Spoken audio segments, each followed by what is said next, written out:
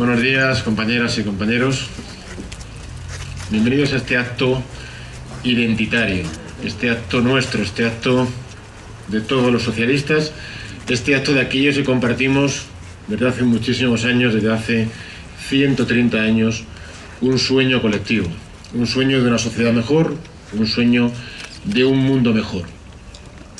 Durante 130 años que este ha sido el año de nuestro aniversario, los socialistas hemos defendido los mismos principios, hemos defendido los mismos valores y hemos estado, sin duda, en las grandes transformaciones que ha tenido España, que ha tenido nuestro país y, desde luego, siempre con un elemento central ya desde los tiempos de la fundación del partido, como era el valor de la educación. Es verdad que ahora vivimos tiempos duros, tiempos donde la crisis, una crisis internacional, una crisis que está azotando duro, como siempre, como todas las crisis económicas, a los trabajadores, requiere, y se ha puesto de manifiesto más que nunca, el impulso y requiere más que nunca el apoyo y las políticas promovidas desde los sectores públicos, desde los estados, desde los gobiernos. Y sin duda en nuestro país,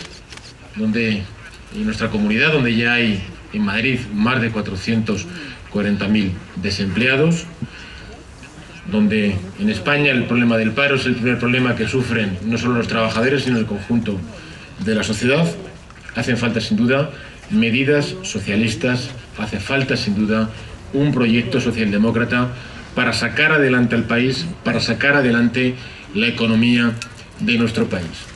Y sin duda es indispensable en ese camino dos cosas, el diálogo social, la concertación social con los sindicatos, con los representantes de los empresarios y desde el gobierno, como se está haciendo, por cierto, en muchas partes de Europa. No se puede pedir siempre que el sacrificio corra a cargo de los trabajadores, no se puede pedir siempre que el sacrificio para salir adelante de las crisis económicas sea siempre puesto por los mismos que son los trabajadores y las trabajadoras. En Europa se está dialogando, en Europa se está alcanzando eso que se llama el nuevo orden económico, un orden económico en el que sin duda los trabajadores tienen que tener un papel no solamente de reparto del esfuerzo, sino también de reparto, distribución y participación en las acciones y los beneficios de las empresas.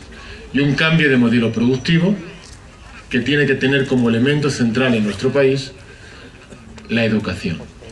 La educación no solamente como un derecho básico, no solamente como aquel instrumento que hace que todos los seres humanos seamos iguales, que tengamos las mismas oportunidades en la vida, sino también la educación como ese instrumento para hacer de España un país más competitivo, un país con más productividad.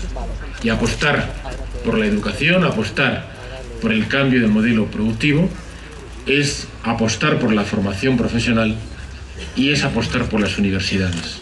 Estamos desgraciadamente en una comunidad, la Comunidad de Madrid, en la que el recorte en servicios básicos, el recorte en sanidad, el recorte en educación, el recorte en políticas sociales, son la seña de identidad del gobierno autonómico.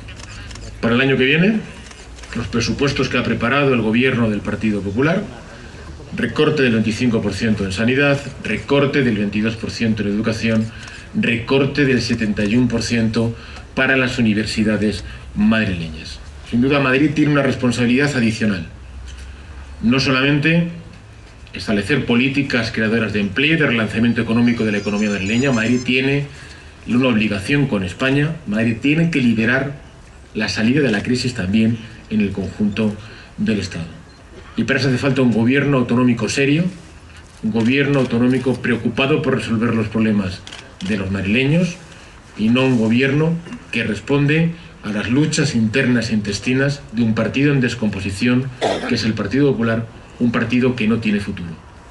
Queda en Madrid un año y medio para el cambio. Un año y medio para recuperar la senda de progreso que nunca debió perder esta comunidad autónoma. Pero en este año y medio no se puede perder el tiempo.